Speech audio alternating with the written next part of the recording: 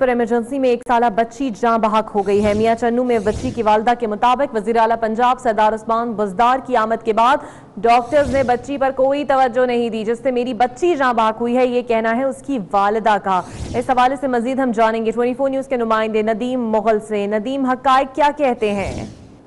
جی بالکل، آج وزیر اعلیٰ پنجاب عثمان بزدار جو میاں چنو پہنچے ہیں، جہاں انہوں نے تحصیل اسپتال میاں چنو کا دورہ کیا ہے۔ اسی دوران دیکھنے میں آیا کہ نواحی علاقے کی رہائشی پل گراٹ کی بچی کومل، ایک سالہ کومل کو اسپتال میں زیر علاج تھی۔ اس کی والدہ نے یہ الزام عائد کیا ہے کہ جس وقت وزیر اعلیٰ پنجاب تحصیل اسپتال میاں چنو پہنچے ہیں، اس وقت وہاں پر بہت زیادہ رش تھا اور خاص طور پہ دیکھنے میں آیا کہ صبح سے ہی وزیر پنجاب کی سیکیورٹی اور محکمہ صحت کے افسران لاہور، ملتان اور خانے وال سے بہت بڑی تعداد میں وہاں پہنچے ہوئے تھے۔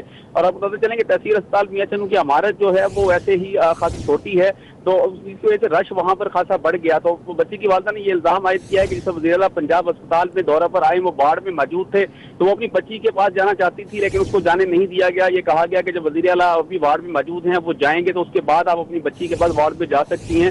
تو ان کی والدہ کہنا ہے کہ جب وزیر اعلیٰ پنجاب وارڈ سے باہر گئے اور اپنی بچی کے پاس وارڈ پہ جب پہنچی ہے تو بچی جو ہے وہ جہاں بحق ہو چکی تھی۔ یوں اس کی والدہ نے الزام عائد کیا کہ وزیر اعلیٰ پنجاب کے اسپتال کے دورے کی وجہ سے جو اس کی بچی کو ڈاکٹرز نے چیک نہیں کیا۔ ڈاکٹرز کا کہنا یہ تھا کہ جس وزیر اعلیٰ پنجاب دورہ مکمل کر کے چلے جائیں گے، اس کے بعد ہی آپ کی بچی کو جو ہے وہ چیک کیا جائے گا اور ادویات فراہم کی جائیں گی۔ جس پر اس کی بچی جو ہے وہ جہاں بات ہو گئی ہے، تو یہ تمام تر الزامات اس بچی کی والدہ نے عائد کیے ہیں۔